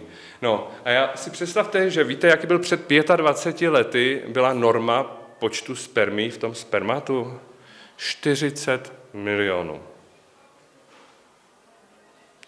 Víte, jaká je dneska norma? 25 let zpátky. 17 milionů. Takže máme obrovský pokles Jo, 17 milionů by v té době už byl někdo, kdo je skoro neplodný. A dneska, když má někdo 17 milionů, tak to je alfa samec, když to řekneme takhle. Jak je to možné? Prevalence neplodnosti je asi 20%, 40% na straně mužů, 40 na straně žen, 20 může být interakcí. Ale je to obrovsky hrozné, protože dříve bylo nejčastější příčinou neplodnosti žena, dneska se to dorovnalo. A jako, jako vědec, když nad tím přemýšlíme, jsem v nějakém tom výzkumu byl také zapojen, tak jako endokrinolog můžu říct, že určitě se na tom podílí právě estrogenifikace a zamoření našeho prostředí látkami hormonálního charakteru. Když se vyvíjí mužský plod, tak se vyvíjí z primordiálních základů gonad, pohlavních žláz, které je v určitém období indiferentní, to znamená stejné pro muže a ženu, a pak dojde právě k signálu tomu, že na Y chromozomu je gen, který váže právě schopnost produkce mužského pohlavního hormonu testosteronu a dalších látek. A tyto látky, hlavně tedy testosteron, když se začne projevovat v tom další genetické působky na ten mužský fétus, který je definován hormonální sadou XY pohlavních chromozomů, tak ten základ těch gonád se začne vyvíjet v ten mužský fenotyp. To znamená muže. Ale problém nastane, když na něj působí nadbytek ženských pohlavních hormonů. A oni jsou dneska všude. Jo? Dokonce i plasty ze sebe vylučují látky, které fungují a dráždí naše receptory hormonální jako ženské hormony. Jaký to má důsledek na ženy? Já jsem přesvědčen, že zatím stojí prevalence vysoká rakovin a tak dále, protože i u žen ten nadbytek hormonů není v pořádku. Ale u mužů to má katastrofální důsledky, protože ten nadbytek ženských pohlavních hormonů ovlivní základy těch jeho gonát, pohlavních žláz varlat, a ovlivní počet a schopnost produkce spermí v budoucnosti. A nejenom spermí, ale i chlapského smýšlení a vůbec chlapských projevů. Takže proto je dneska taková prevalen eh, výskyt problémů plodnosti, mizerný problémy se schopností mít pohlavní styk, eh, impotence a další problémy, rakovina prostaty. Já myslím, že zatím skutečně stojí ty hormonální disbalance, které máme z toho okolí. Takže může se stát, že i vy, co jste tady, nebo dneska na kempu, jestli pán Bůh nedá kežby, ale se budete s touhle problematikou zabývat. A teď tedy co s tím? A já vám chci říct, že opravdu křesťan nemá dneska mnoho možností a jako tehdy tu největší možnost, kterou má, je modlitba. My víme, že když nemohla mít Sára děti, tak Abraham se modlil k hospodinu. Když Ráchel nemohla mít děti, přišla za, za svým mužem, za kým? Za Jakobem a stěžovala si, že Lá rodí, ona nemůže. On se rozčílil. Říká, co pak já jsem? Bůh? Ale prosil, hospodin potom otevřel její luno. A čteme to u dalších biblických žen, že muž se modlil, oba se modlili a pán Bůh vyslyšel jejich modlitbu. Co čteme, když naštíví anděl Zachariáše? Jo, pán Bůh na ně schlédl, to znamená, že oni se celý život modlili za toho potomka. Jo, takže modlitba je to věc mezi námi a Pánem Bohem, to je hlavní. A někdy prostě je to tak, že člověk musí akceptovat tu svrchovanou boží volbu pro svůj život, stejně jak je to s manželstvím. Ne všichni se ožení a vdají. Prostě není to někomu dáno. A pokud porušujeme, my máme hledat, co je boží vůle pro náš život. A ne každému je dáno být rodičem a ne každému je dáno být otcem, ale na druhou stranu vám chci říct, že je to dáno každému, protože já znám spoustu žen a mužů, kteří třeba nebyli ženatí nebo vdané, ale co oni dělali? Jako je poštol Pavel. Říká, ženatý muž myslí na meči své ženy, ženatá, vdaná žena na moci svého muže, ale kdo je svobodný, tak myslí především na věci pána. Já neobhajuju bát, teď mě vůbec nepochopte špatně, ale nezapomínejme, že v 7. kapitole Kristu Korinským se o tom hovoří, že ty možnosti tady jsou. A já znám spoustu učitelů besídek nebo lidí, kteří pracovali s mládeži, kteří neměli vlastní děti. Ale celý život měli vlastně tolik dětí, že jich neměl nikdo ani, jen říká, hle, neplodná po sedmé rodí říká o zaslíbení. Jako musíme v tom hledat, že i v tom si Pán Bůh něco může, určitě to je záměr, to není náhoda. A pak je tady adopce. Vymodlit, když prostě máme spoustu dětí, který nemá rodiny, pěstounská péče, náhradní rodičovství. A to by všechno měl ten neplodný pár zvažovat. Jo, je spousta dětí, které trpí z dětských domovů, prostě nepřicházejí děti vyzbrojený pro život v tomto světě. Takže když je někdo neplodný, Bůh k němu mluví určitě a musí hledat tu boží vůli. A pak máme tedy možnost lékařskou. A teď jak se na to podívat? A když bychom si teda přiblížili metodiky in vitro fertilizace IVF programu, tak zase strašně morálně narazíme. My se mohlo říct, že máme to tady, máme řešení. Ale tohle řešení je strašně kontroverzní v pohledu k naší víře a k božímu záměru s člověkem.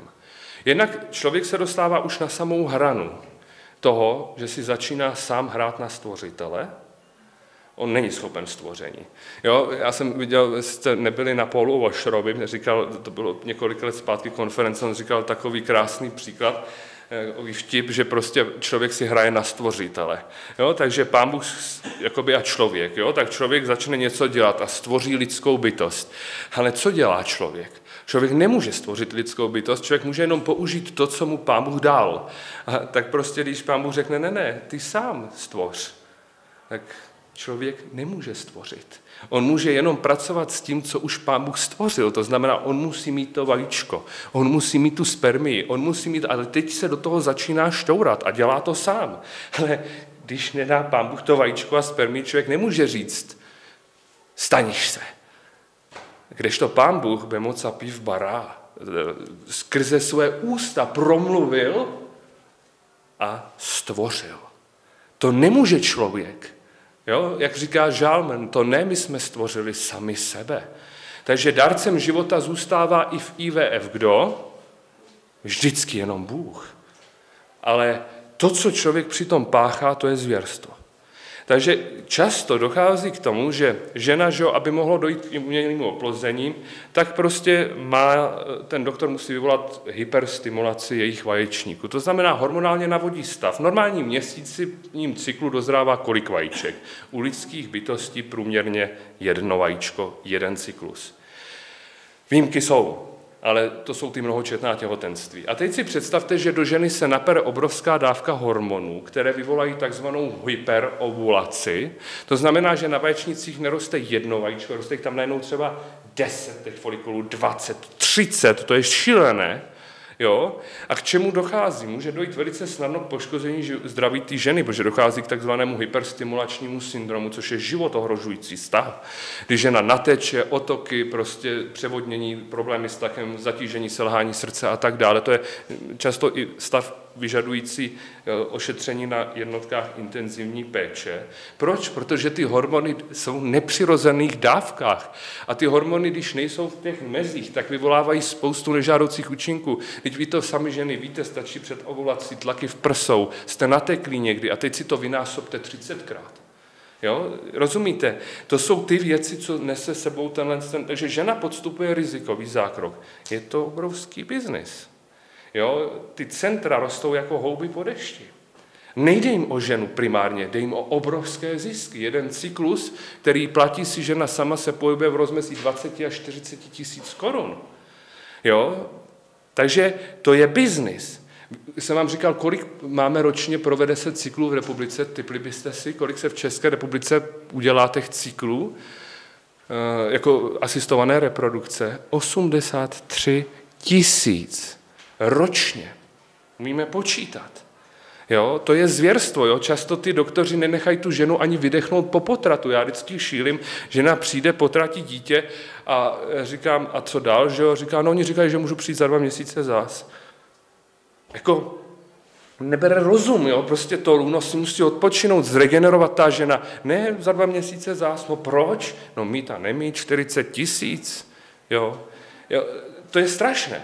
A to nikdo nezastřelí, co tady říkám, ale takhle se to děje dneska. Takže nekouká se na tu ženu, nekouká se na ty důsledky. A teď co oni udělají? Oni odeberou těch 20-30 vajíček, pak tam sedí pan embryolog, strašné, a začne teda kultivuje ty spermie, nechá je dozrát a pak si vezme, nechá dozrát to vajíčko a pak začne prohlížet ty spermie, začne si vybírat. Začne si vybírat vajíčka, začne si vybírat spermie. A teď jsme jako za Hitlera. Slyšeli jste někdy o termínu eugenetika? Eugenetika to byl vědný obor, který říkal, že člověk má selekci vypěstovat lepší rasu. Ale to je strašné, že? No to Mendela a další, to bylo odporné.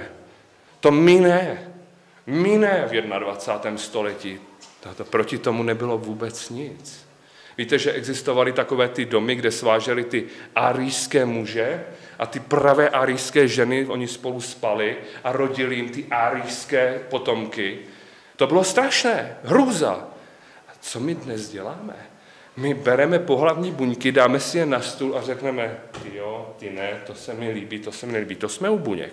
A pak teda uděláme fúzi, takže udělá se fúze vajíčka spermie, ale právě proto, že pravděpodobnost uchycení toho vajíčka oplozeného je 4 až 5% tak za 40-20 tisíc, kolik potřebujeme vajíček, aby jsme tu pravděpodobnost zvedli na 100%? Uděláme 12. 12 embryí. Takže průměrně se při cyklu klidně oplodní 12 vajíček. Zase šoupneme si je z inkubátoru, z termostatu na stůl a koukneme se na to, jak vypadají. A porovnáme si je. Dneska už máme úžasné tabulky, šílim z toho. Prostě máme čtvrtý den, jsou tam čtyři buňky a tady jsou tři. Špatná. Tahle buňka je křivá, špatná. Tady dokonce jednu buňku vezmeme, víte, že dneska se genetické testy často provádějí už i na takto malých dětech a jsme krátce u toho, že si budou rodiče ukazovat modré oči, zelené oči a, a tak dále. To je něco příšerného.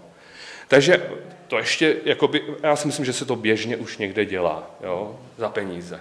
Zatím eticky se o tom nemluví, ale už je to možné v současné době dělat. Takže my uděláme selekci. Někdo sedí za stolem a dělá selekci lidských bytostí. A vybereme teda tři, čtyři, kteří nám vyhráli. A proč to uděláme? No proč? Víte, tady evoluce, ne? Chápete, jak strašně ovlivňuje naše smýšlení a charakter to, čemu věříme?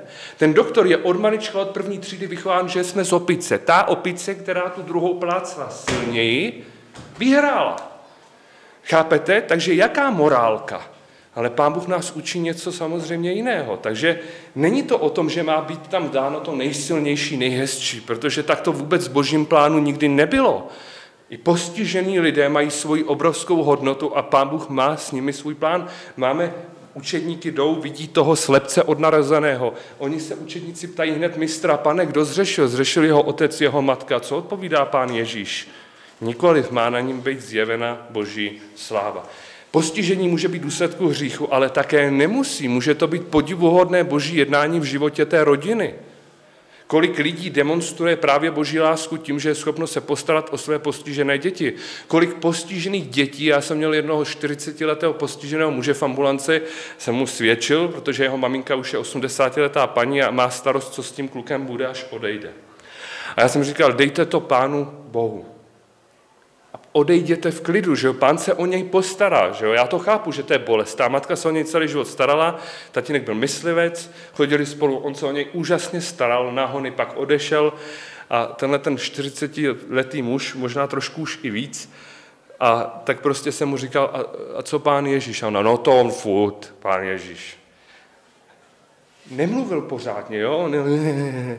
Ale pán Ježíš tak prostě na mě kejval chápeme, jako on nebyl nešťastný, jenom to, že neměl Harvard že nebyl na Karlovce, že nechodil do fitka, ještě neznamenalo, že byl méně hodnotnou lidskou bytostí než někdo jiný. A k Ježíši Kristu měl blíž než často ti, kteří tyto věci mají všecky. Takže zase chápeme, že vůbec tahle selekce nemá vůbec před Pánem Bohem opodstatnění a místo. A když se tedy vyberou ty tři šampioni, čtyři, dva, tak naše legislativa to umožňuje, tak ten zbytek se tak nějak jako ztratíš. Jo. A nebo, protože to stojí peníze, si to ta matka nechá dát do mrazáku. Já jsem dneska říkal, že jsme v obrovském morálním problému, protože kolik má, víte, kolik jsem říkal včera, máme přibližně zmražených embryí, které nikdo nechce v republice? 90 tisíc.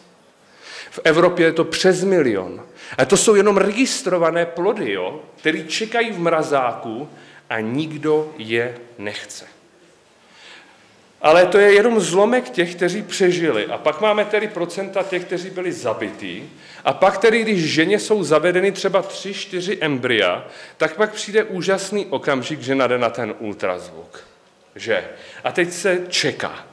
A teď pan doktor přiloží sondu a řekne, jste těhotná. Ale jsou tam tři. To je katastrofa.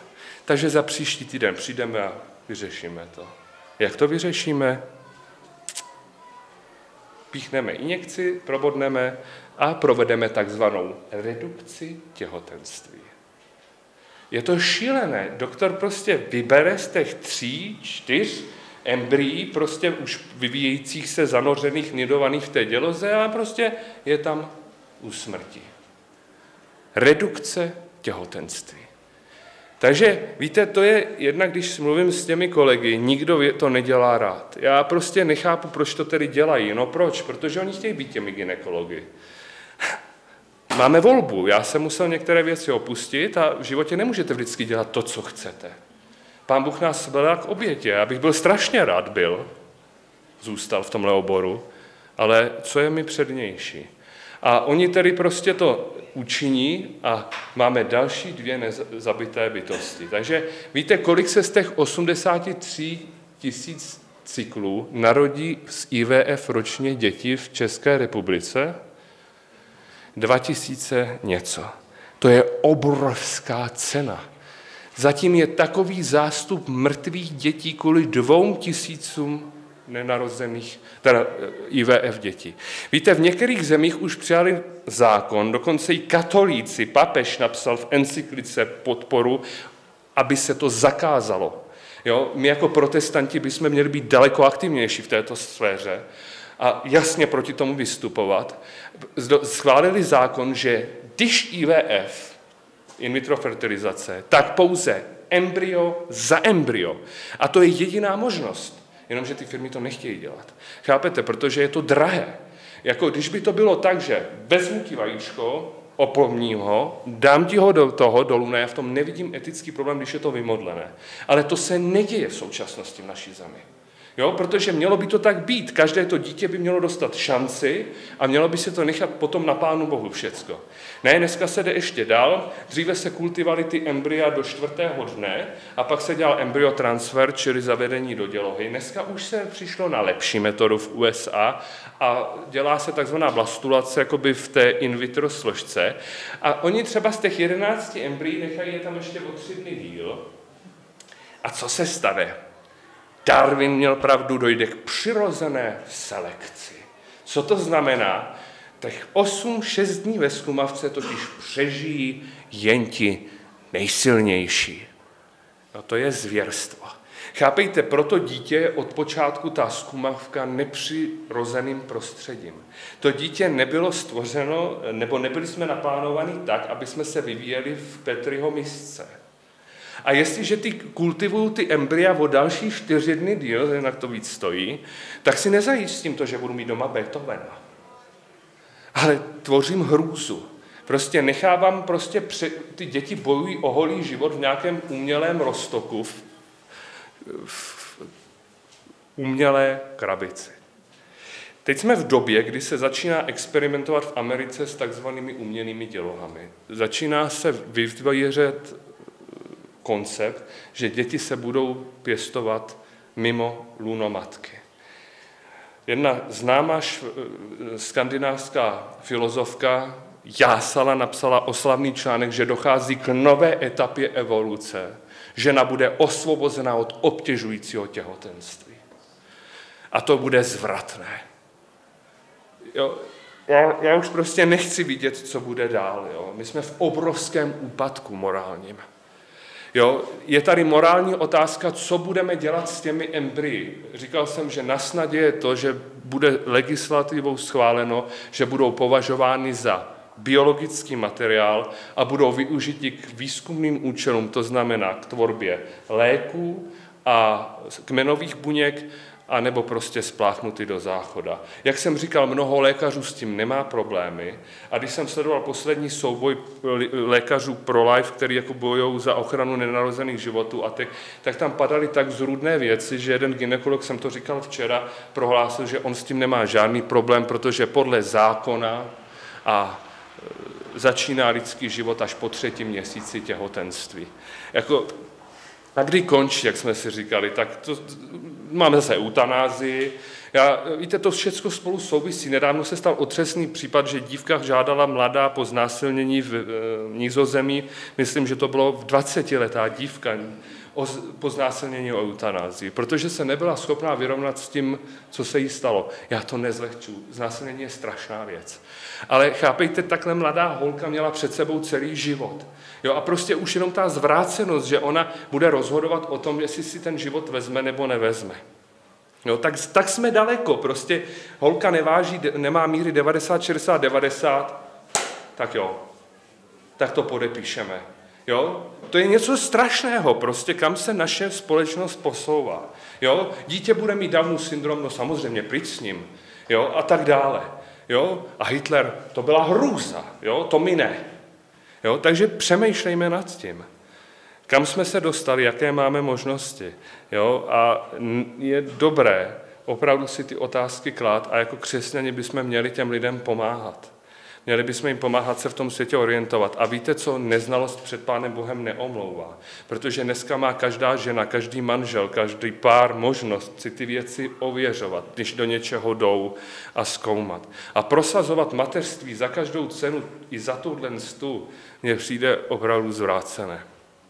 Takže teď je prostor se zeptat, diskuze, nějaký, nějaký dotaz. No. Chtěla jsem se zeptat, že ono, než se to nevinko jako zavede do tělohy no. z té misky nebo z té zkumavky, no. tak dělají se ještě nějaký testy? Dělají, dělají. Dělají, dělají, no. Jako, je to v té fázi, kdy se ještě dělí jako... Víš, já přesně na tímhle, já jednak nesouhlasím, až budete křesťani, budete a jste nuceni chodit na některé testy jako maminky před narozením. Existuje triple test z krve a potom se, když se zjistí nějaký zvýšení, chodí na odběr amniové tekutiny a nebo se chodí na odběr dokonce choriových klků, geneticky. Jo? A pak je tady ta diagnostika, který se vrátím, ta ještě jakoby čerstva. Víte, jaké riziko potratu je třeba při odběru amniové tekutiny a vzorku? 1% až 3. A to je strašné. Jako, proč já bych svoji ženu na to hnal, jako křesťan k tomu nemám vůbec důvod, mě to nezajímá.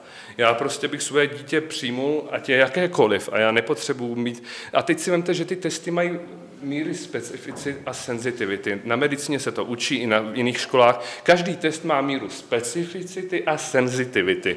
Ale to je míra. To znamená, že Čím větší specificita, tím větší jistota správné hodnocení, ale často bývá i nižší senzitivita. Čím větší senzitivita, tím větší možnost falešně pozitivních výsledků. A chápejte, u toho každého testu to je jiné. A nikdo vám neřekne, vy máte Downika. Jo? Protože existují mozaiky, existují různé genetické variaty, že prostě i v lidském těle ne všechny buňky můžou mít stejnou genetickou výbavu. A i když třeba z testu vyšlo, že to je down, tak on nemusí toho downa mít vůbec plně vyjádřeného. A opačně. Vám řeknou, já jsem zažil ginekologa starého profesora v Hradci, moc jsem se ho vážil, ten první promluvil proti antikoncepci, že já, když jsem byl na vejce, já jsem říkal, tak toho litu, že to nemůžu brát taky, jo? protože to byly takový pozitiva, jo? Lepší paměť, mladší, hezčí, všecko, jo, takhle. Takže on proti tomu bojoval a prostě říká, že prostě přišli rodiče, dělali si ty všechny možné testy a pak se jim přesto narodilo postižené dítě. Oni ho přitáhli po porodu na kočárku a řekli, my tohle jako jdeme řešit s váma, my s tím nesouhlasíme jako, a chceme jako od vás odškodný. On říká, to není video, to není reklamace. Jako, říká, to je zvrácenost. Jo? Prostě kam až naše společnost došla, no samozřejmě bydlíme v satelitní vesničce, máme bazén, máme auto a musíme mít dítě, které se zapadne do té společnosti. No a přece nepojedu s dítětem, ta matka řekla, s postiženým skočárkem. Nebo s postiženým dítěm v kočárku. Jo? Takže takhle dnešní společnost je naučená myslet. To je zvrácenost. Jo, takže já zároveň ty testy odsuzu z toho důvodu, že mají abortivní jakoby riziko. Odběr choriových klků, to je ještě časnější fáze. Máte, víte, kolika procentní riziko abortu?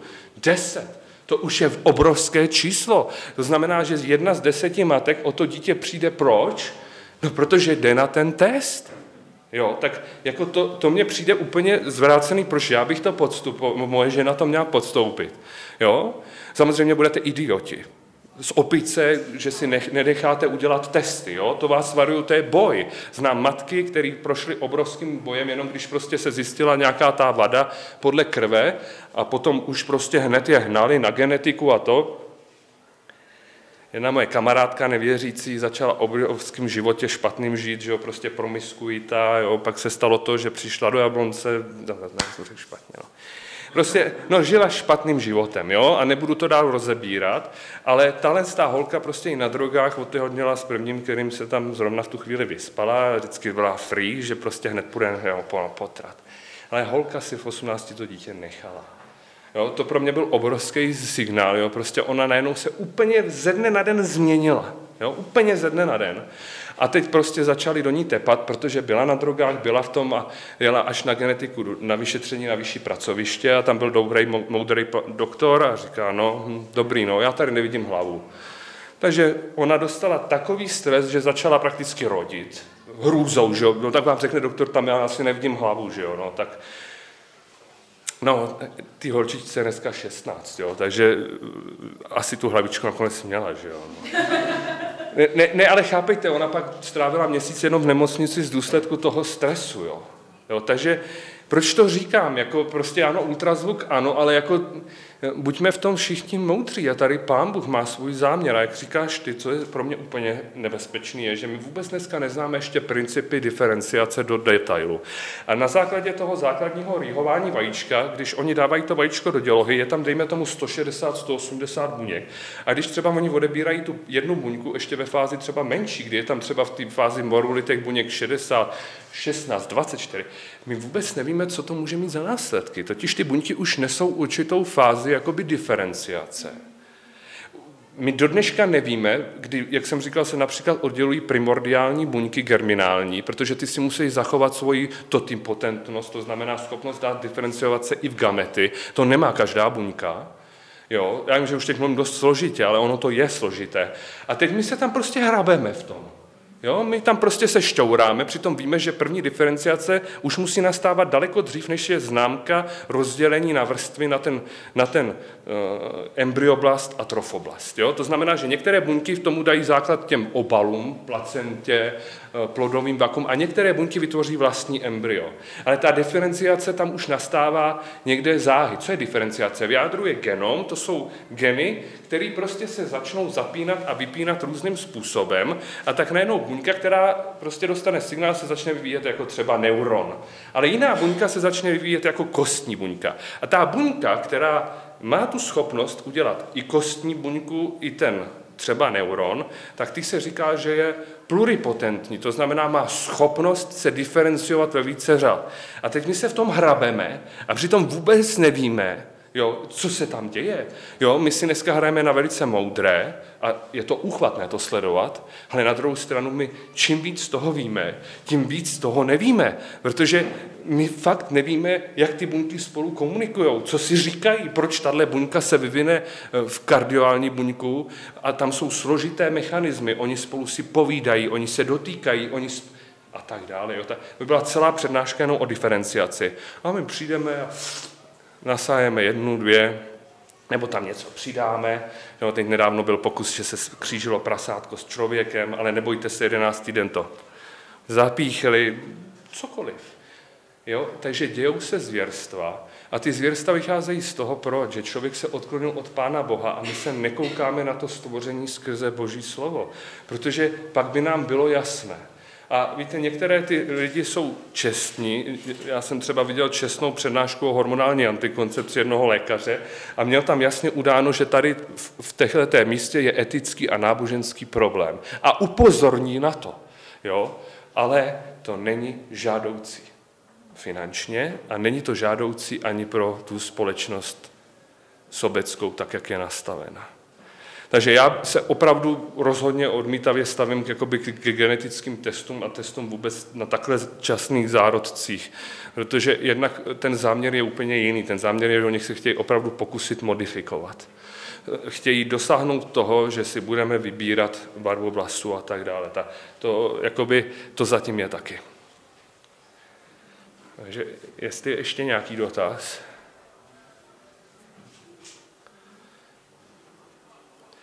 Jestli ne, tak já vám děkuju za pozornost. Já jsem rád, že jsem se mohl o toto téma s vámi sdílet. Já se na závěr pomodlím.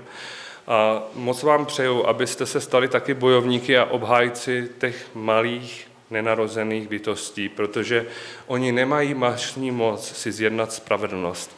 A víte, co říká hospodin v kazateli, že což pak já nevím, já nevidím, on vidí, jestli máme možnost a moc někomu pomoct. A když to neuděláme, Pánu Bohu se to nelíbí.